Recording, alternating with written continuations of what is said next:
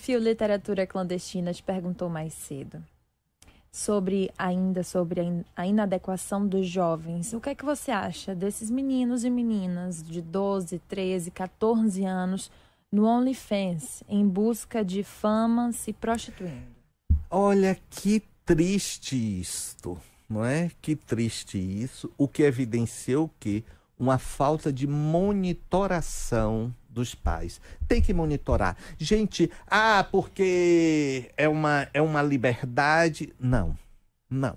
É preciso entender que os jovens, o adolescente, esse processo de transição é um processo muito complicado e continua sendo da mesma forma que era na década de 2000, na década de 90, 80, 70, ou seja, o não é mais criança a pessoa e ainda não é o adulto.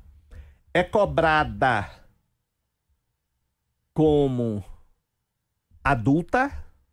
Você não é mais uma criança em alguns aspectos.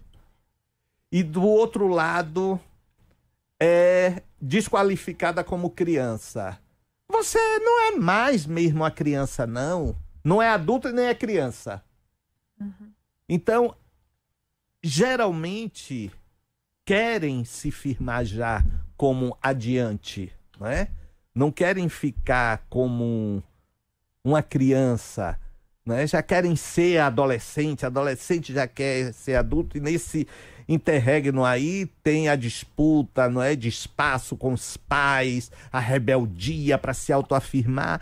Então, olha, é sempre a mesma coisa em qualquer parte do mundo. Por isso que continua sendo muito importante essa monitoração. Vão odiar, vão odiar. Vão dizer que você não é um bom pai, não é uma boa mãe, não vão odiar, mas depois vão saber, porque vão sentir que é uma base de proteção. E olhe, e precisa mesmo, viu? Porque a gente viu matérias aí de crianças sendo assediadas nos quartos de suas casas nos quartos de suas casas, sendo oprimidas, inclusive tem crescido muito com a automutilação.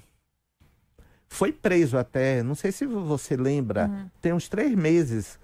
Aqui no Brasil, um, um, rapaz de 18 anos foi inclusive preso dentro da casa dele porque ele estava fazendo esse tipo de, de, de assédio a meninas novas, coisa e tal, querendo, quando se recusava, ele expunha já fotos que já tinha hum. dela.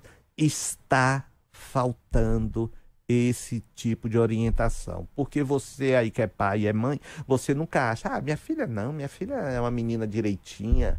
Vocês não sabem, não estou dizendo que elas não sejam, mas você, vocês não sabem a forma de pressão que ela está passando, ou ele, o garoto, também está passando, você não sabe. É eu estou pensando em abrir um trabalho também nessa linha na Cidade da Luz, sabe? Para os pais dos meninos do hip hop, né? Aquelas meninos, quando eu digo é meninos, meninos e meninas, né? Que né, dança, aquela coisa, exposição. Estou pensando nisso, para ficar alerta contra esses lobos maus que tem por aí. Tem mesmo, viu?